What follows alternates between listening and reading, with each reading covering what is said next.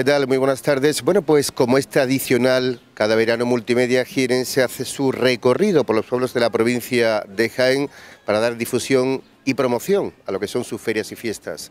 Hoy estamos en la comarca de La Loma y concretamente estamos en Villatorres y más concretamente estamos en Villargordo porque están a punto de empezar las fiestas de Santiago Apóstol. Y qué mejor que su alcalde para que nos cuente todos los detalles sobre esta feria 2011. Sebastián López Mateos, ¿qué tal? Muy buenas tardes. Hola, buenas tardes. Enhorabuena. Gracias. Mm, en principio, porque ha obtenido la alcaldía, eh, ya lo fue usted en el 87, 1991, ¿no? 91. Efectivamente. Bueno, pues cuéntenos cómo se ha aterrizado de nuevo en la política. ¿Había necesidad?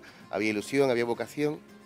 Bueno, nunca me he desligado totalmente de bueno, el trabajo social a través de asociaciones y a través de sindicatos y a través y políticamente.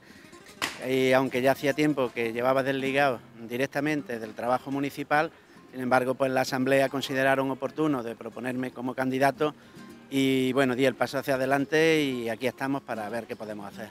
Multimedia se viene año tras año aquí para hacer la visita, para que se apueste por la promoción de lo que son sus paisanos y sus fiestas. Eh, hay mucho deporte aquí, alcalde. Sí, hay mucha tradición deportiva.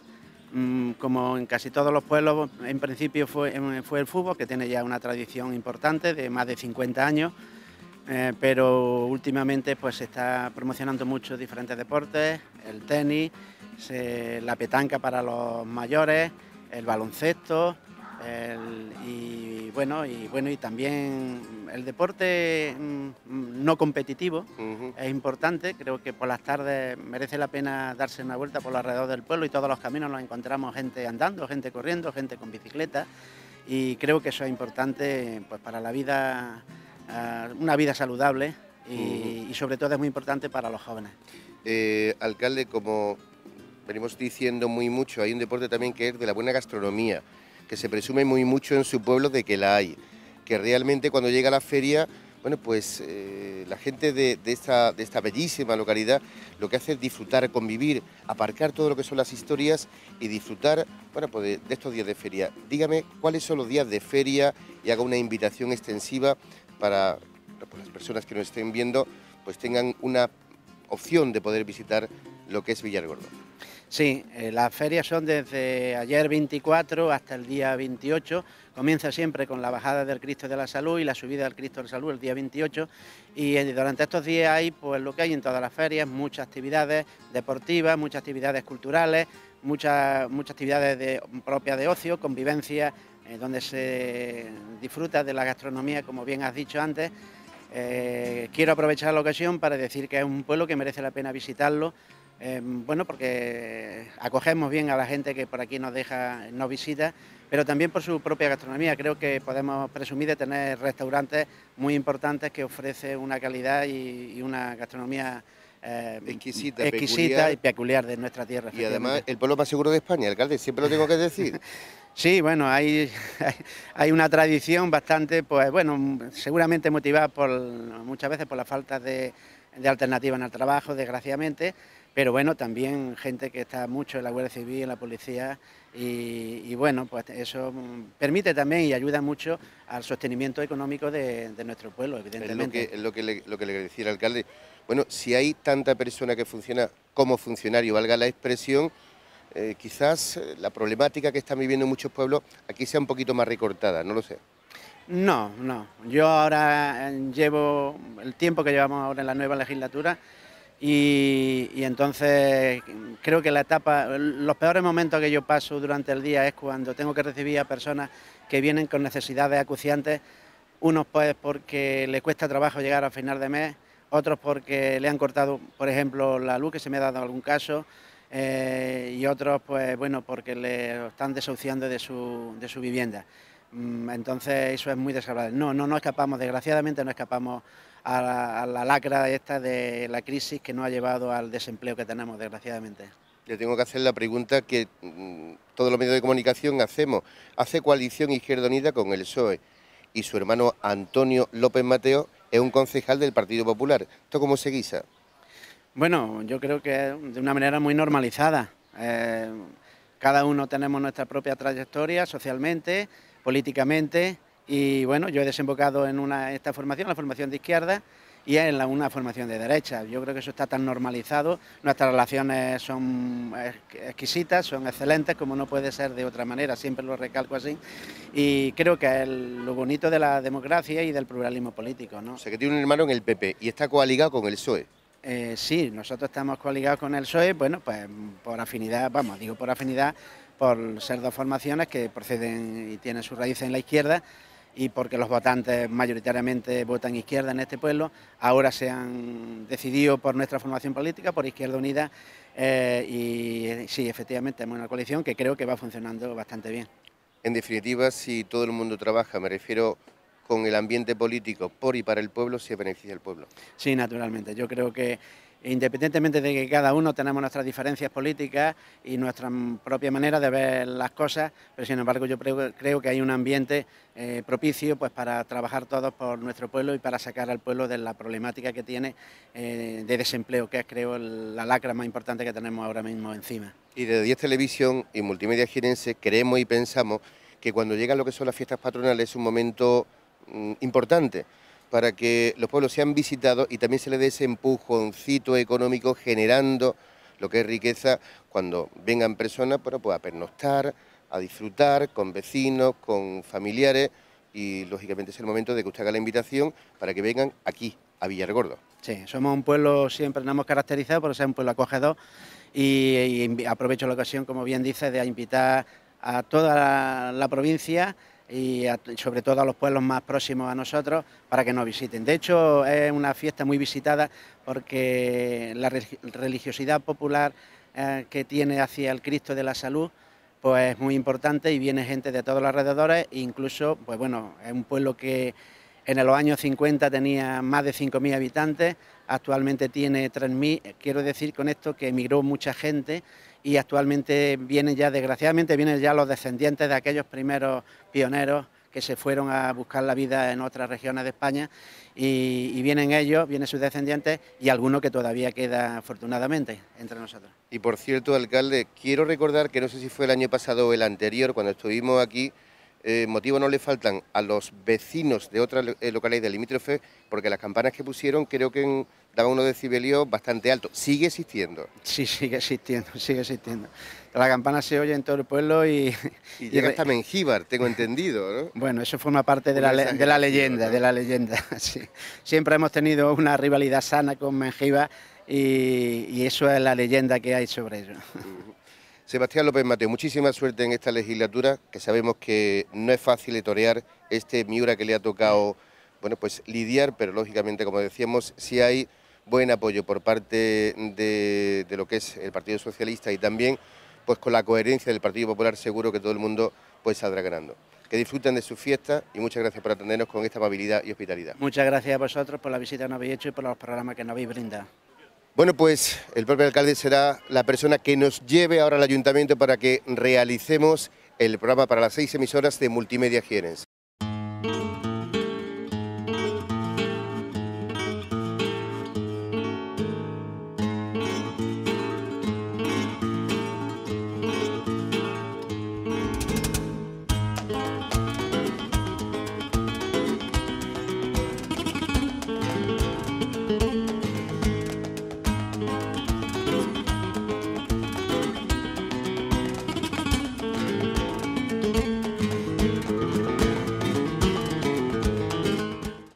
Fuerza y tacón. a fuerza y a fuerza, a fuerza, en singular. Fuerza por el, por el esfuerzo que hace la bailarina, la socia, y a tacón porque representa la danza flamenca. Eh, bueno, pues cuéntame, ¿cómo vivís esto? ¿Cómo lo desarrolláis? ¿A qué, qué tiempo le dedicáis? ¿Cuántas personas lo componen? Sí, la asociación está compuesta por unas 120 socias y hay tres secciones, infantil, juvenil y adulta y la mayoría son mujeres, excepto dos o tres socios varones que son de colaboradores y eso. Y principalmente pues son clases de danza flamenco, aunque también se están impartiendo danza clásica, baile español y también musicales, como este año hemos preparado la obra Mi vida en sentimientos de Salvador Dalí en donde se quiere profundizar en lo que es el personaje en sí de Dalí, eh, marcando su carácter a través de varios sentimientos, como puede muy surrealista, ¿no? Sí, no, pero mm, los sentimientos son muy claros. Es la felicidad a, lo largo de su vida, varios puntos que tuvo. Entonces son la felicidad, la libertad, la tristeza, el odio, la desesperación y el miedo. Entonces en cada fase de esa representamos a través de monólogos y luego bailarinas, que son las que hacen. Entonces es un espectáculo de teatro y danza. Pero Capilla, ¿cuál es el objetivo? ¿El que aprendan o el que también se hagan representaciones fuera de lo que es el marco en el que nos encontramos? Nosotros todos los años es que aprendan, es disfrutar sobre todo y aprender a la misma vez lo que es la danza flamenca. Y aparte, cada dos años, cada tres, hacemos un espectáculo fuera de lo que es la coreografía que aprendemos para ahora, para las fiestas. Nosotros todos los años hacemos una gala, que es como si fuera el fin de curso, vale. con gala, y entonces cada grupo pues interpreta una o dos piezas, con coreografía de Abigail Padial, que es la profesora y socia también. Y, y aparte, hace dos años hicimos la obra de Carmen, donde intervino, y este año ha sido esa. En el 2009 fue Carmen ahora hemos hecho la de Mi vida en sentimiento de Salvador Dalí. ¿En qué situación se encuentra el flamenco? ¿Se olvida, no se reconoce? ¿Está en buena etapa? Sí, sí, sí, Yo creo que eso nunca va... Yo la verdad es que en lo que es la asociación llevo muy poco tiempo a, a lo que ella lleva. Yo llevo solamente dos años y como presidenta un año y la verdad que siempre me había gustado el tema este, pero por motivos profesionales nunca más, y por otras ah, cosas de mi vida, de la vida, pues no he podido, y la verdad es que me he metido aquí y la verdad es que cada vez me, te ha enganchado. sí, bastante. Pues eso es muy bueno, ¿verdad? Cultura y además, como tú bien dices, fuerza. la fuerza interior y lógicamente también la física, ¿no? que va acompañada. Exactamente, entonces eh, somos socias desde tres años hasta más de 60. Autorizado para todos los públicos. Sí, sí, sí. Muy bien, pues enhorabuena Capilla Carrillo, muchas gracias por estar con nosotros. Y vamos a seguir conversando porque tenemos a eh, Juan Cañas. Juan Cañas, para servirle. Pues muchas gracias, bienvenido, muy buenas tardes. Buenas tardes. Usted es el presidente del hogar del pensionista. De momento sí. Y le veo con mucha fuerza, con mucha gana y con mucha energía. ¿Eso cómo se hace? Y cada día que me levanto tengo más fuerza. me había sorprendido. ¿Cómo se hace? ¿Eh?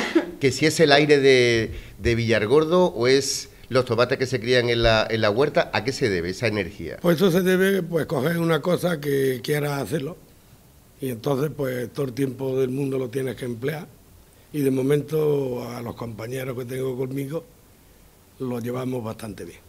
¿Cuántas personas hay aproximadamente en el hogar del pensionista? En el hogar del, del pensionista hay afiliados pagando la cuota 168. No será una cuota muy alta, ¿no, Juan? 6 euros. ¿Pero 6 euros todos los días? Al año. Ah, vale, vale, vale, eso sí, eso ya es más... ¿Y qué organiza el hogar del pensionista durante todo el año? Entre yo y este señor. ¿Y pero qué, qué se organiza? Ah, bueno, se organiza. Bueno, aquí hemos puesto, gracias a Dios, un deporte que prácticamente no se conocía, como la petanca. Eh, el antiguo alcalde nos hizo las pistas y de momento esto va bastante bien. Luego se organizan pues campeonatos en el hogar, como ahora, para las fiestas, que hay un campeonato de domino. Se dan dos comidas, bueno, dos comidas, dos días de convivencia con los socios al año, se hacen viajes, y ahí estamos. Teresa, le vamos a decir que habla mucho en términos masculinos, ¿eh? A ver si se organizan cosas para las mujeres, ¿no? No, no, y hay baile, ¿eh? Hay baile, ¿eh? hay baile. bueno, muy bien, bueno, pues la verdad que me da mucha alegría ver a personas, yo creo que son de la tercera juventud, no me gusta mencionar de la tercera edad, con esa gana de vivir, con esa gana de hacer cosas, porque hasta el final todo es vida y hay que disfrutarlo.